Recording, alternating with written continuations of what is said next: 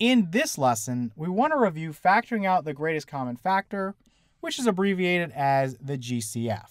So before we kind of jump in and start looking at some sample problems where we're factoring the greatest common factor out from a polynomial, we want to first think about what is the greatest common factor for a group of monomial terms. So most of you would have learned this in either pre-algebra or kind of your first algebra class. That could be Algebra 1 or just a general algebra course. And essentially, it's a very easy procedure, just something you might have forgotten. To find the GCF for a group of monomial terms, you want to first think about the number parts, and then you can think about the variable parts. The variable part is very, very easy. The number part takes a little bit of work because you have to factor some things.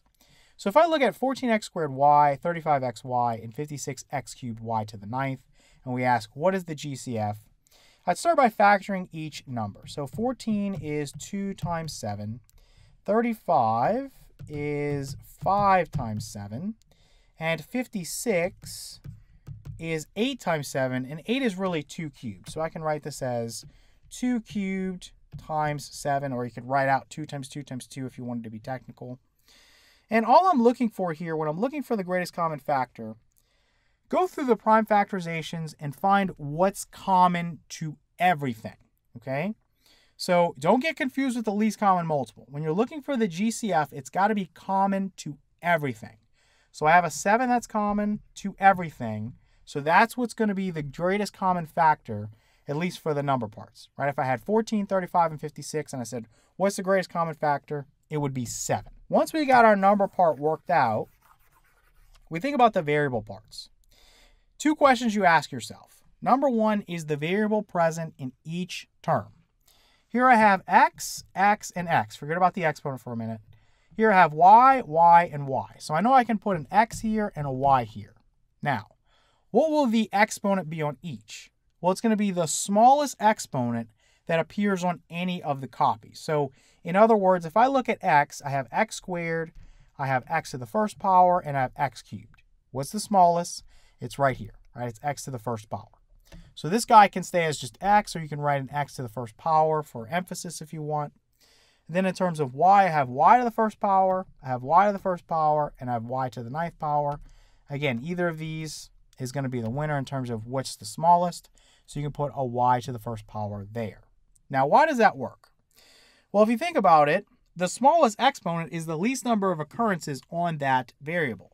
So if I was to write this out like I do with the numbers, x squared is what? It's x times x. x to the first power is just x. And x cubed is x times x times x. So what's common to everything? This has an x, this has an x, and this has an x. That's common to everything. You can't put a second x in there because that's not common to everything. This one doesn't have it okay? It's got to be common to everything, so that's why you go with the smallest exponent that appears on any of the copies. Again, two questions to ask yourself. Is the variable present in each of the terms, and what is the smallest exponent on the variable? If I was to look at a different problem, and we'll see an example in a second, but let's just say we change this problem, and this guy did not have a y. Let's just mark it out. So this is gone now. If that's the case, then y would get removed from the GCF because it's not present in each one. This guy has a y, this has a y, but this one doesn't. So it's not common to everything, so it doesn't go in, okay? But that's not the situation we have, so let's change this back to what it is. So our GCF here for these three terms is going to be 7xy. All right, let's look at another example. So we have 8x to the 6th power y cubed z, 20x squared z to the 4th, and 36x cubed y to the 5th z squared. So what is the GCF, or again, the greatest common factor? So for the numbers, I'm going to factor each one. So 8 factors into 2 cubed, 2 cubed, or 2 times 2 times 2. 20 factors into what? We know it's 4 times 5. 4 is 2 times 2. And 36 we know is 9 times 4. So let's write 4 as 2 times 2, and then 9 is 3 times 3. Okay, what's common to everything? I've got one 2, I've got another 2. That's common to everything. Then I've got a third 2 here, not common to anything else. I've got a 5, not common to anything else. And I've got two threes here that are not common to anything else. Now, since the two copies of 2, in other words 4, is common to everything, That's going to be the GCF, at least for the numbers, right? For 8, 20, and 36. Now, in terms of the variable part, is the variable present in each term, and what's the smallest exponent on that variable? You have an x, an x, and an x. You have a y, no y, so y is not going in. You have a z, a z, and a z, so z is going to go in. Now, what's the exponent on x, and what's the exponent on z? So this guy is a 6, this guy is a 2, and this guy is a 3.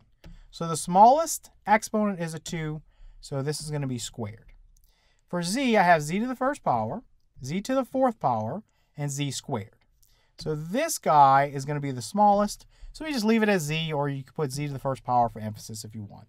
So the greatest common factor here is 4x squared z to the first power, or just z. So now that we've reviewed how to find the greatest common factor for a group of monomials, we want to think about how to factor out the GCF. So when I look at something like 6 times the quantity 4 plus 3, this is a very simple example. I just want to show you the distributive property.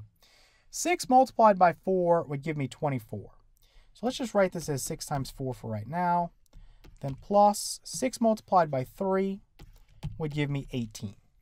Now, because of the equality here, I know that I could go in reverse, right? I could pull the 6 back out from each term and set it out in front of some parentheses, and I'd have what is left here, which is 4 plus 3. This property, the distributive property, allows us to write a product as a sum, and it also allows us to write a sum as a product. Now, this might seem like a really easy example because we only have numbers involved, but let's suppose we looked at something like this 3x plus 12.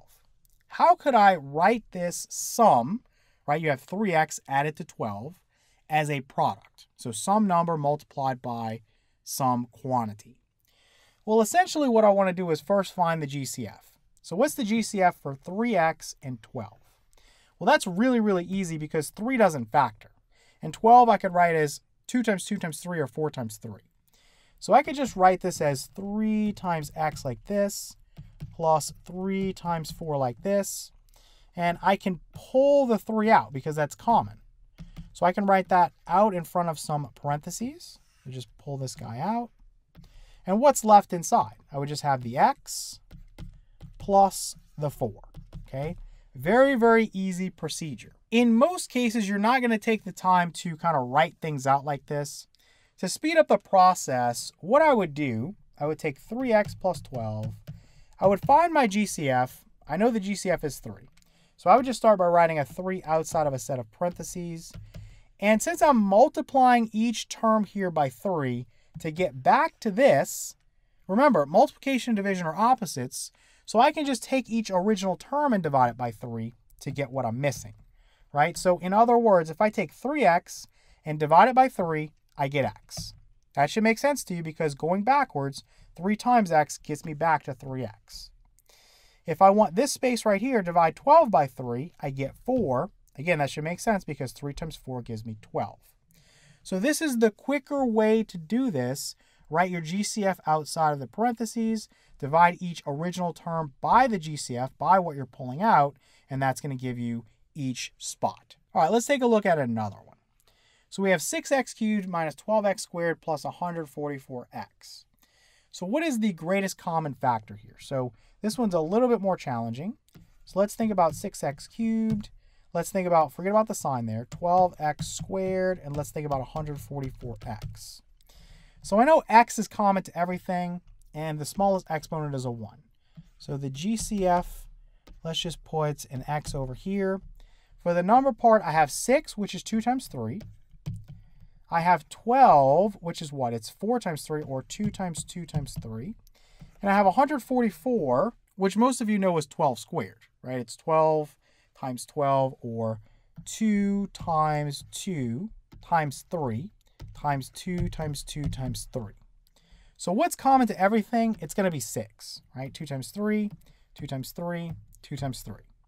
So the GCF here will be 6x. So what I want to do now, let me erase everything. I want to write my GCF, which is 6x, outside of some parentheses. And then I want to divide each term by 6x to get the terms that are missing in here. So I've got this one, I've got a minus, I've got a term here, and plus, I've got a term here. So 6x cubed divided by 6x would be x squared. If you have 12x squared divided by 6x, 12 divided by 6 is 2. x squared divided by x is x. And I've already accounted for the minus sign. I already put it there. Okay, so you don't need to worry about that. Then 144x divided by 6x. What is 144 divided by 6? Well, that's going to give me 24. So we factored out the greatest common factor here, and we end up with 6x times the quantity x squared minus 2x plus 24. All right, let's look at another one. So suppose we had 20xy squared minus 15x squared y minus 100xy. So again, I'm looking at 20, 15, and 100. Forget about the signs. What's the GCF?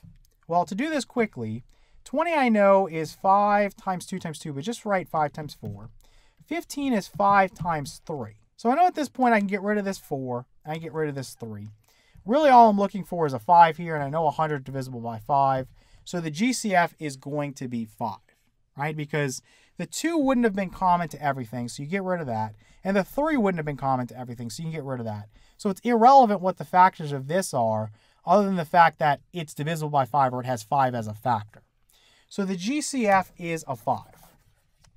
So the GCF is a 5. Now, when we think about the variables, we have x, x, and x. And we have first power, second power, and first power, so that can stay. Then we have y, y, and y. We have second power, first power, and first power, so that can stay. So my GCF is 5xy. So let's write that out in front of a set of parentheses. And again, to get what's inside, you're going to have three terms. So minus, minus. So what goes here? 20xy squared divided by 5xy. 20 divided by 5 is 4. x over x is 1. y squared over y is y. 15x squared y over 5xy. 15 divided by 5 is 3. x squared over x is x. y over y is 1. 100xy divided by 5xy. 100 divided by 5 is 20 x over x is 1, y over y is 1. So we end up with 5xy multiplied by the quantity 4y minus 3x minus 20. All right, let's go ahead and wrap up our lesson by looking at how to factor out a common binomial factor. This is something we're going to use in the next review section where we're talking about factoring by grouping. So let's suppose we look at the problem, the quantity x plus 1 times the quantity x minus 5 plus the quantity x minus 5 times the quantity x minus 6. So I see that I have a common binomial, meaning two-term polynomial, so a common binomial factor. So I can just pull that out. Okay, just like I've been doing in the other problems, I can still just pull this guy out. And what happens when I pull it out? Well, inside of parentheses, I would have what? If I pull out an x minus 5 from here, I would just have the x plus 1. So the x plus 1, and you can put that inside of parentheses if you want for now. Then plus, over here, if I pull out an x minus 5, I would have the x minus 6 there. Now, these double parentheses here cause a lot of concern for a lot of students. So if you want to make this easier on yourself, just temporarily put some brackets there. We're going to combine like terms inside of here, so we can get rid of the brackets in a minute. So x plus x is 2x. 1 minus 6 is going to be negative 5. So this would be 2x 2x minus 5. And now I could write this with some parentheses here. And so you've successfully factored this guy. You've pulled out or factored out a common binomial factor. Now it's easy to prove to yourself that this works. If I go through and FOIL this, x times 2x is 2x squared. The outer would be minus 5x. The inner would be minus 10x. So you'd have minus 5x and then minus 10x. So you combine like terms there, you'd have negative 15x or minus 15x. And then the last term is negative 5 times negative 5 is plus 25. Now if I go through here, x times x is x squared. The outer would be minus 5x, the inner would be plus 1x, and the last would be minus 5. So this guy right here in the middle would combine to be minus 4x. So I'd have x squared minus 4x minus 5, and plus. Over here I would have x squared. My outer would be minus 6x. My inner would be minus 5x, so that would be minus 11x if I combine the two. And then my last would be plus 30. So what does this equal? If I'm right, it should equal this. x squared plus x squared is 2x squared. Negative 4x minus 11x is minus 15x. Then negative 5 plus 30 would be plus 25. So I want you to notice that we got the same thing here as we got here. So this shows you that we can factor out a common binomial factor. We end up with the same result either way, the 2x squared minus 15x plus 25.